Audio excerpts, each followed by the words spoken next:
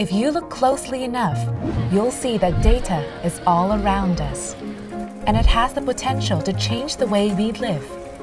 From improving the day to day to empowering a smart nation. How can we harness data to provide answers for the problems we face today and be well prepared for tomorrow? What if we can use data so that parents can find the perfect school for their kids?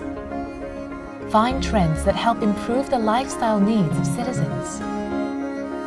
Figure out how we can better distribute elder care facilities to support an aging population. Help our ex-offenders reintegrate into society and gain a second chance in life. Or even change the way we commute to build a greener Singapore. With open data, the possibilities are endless.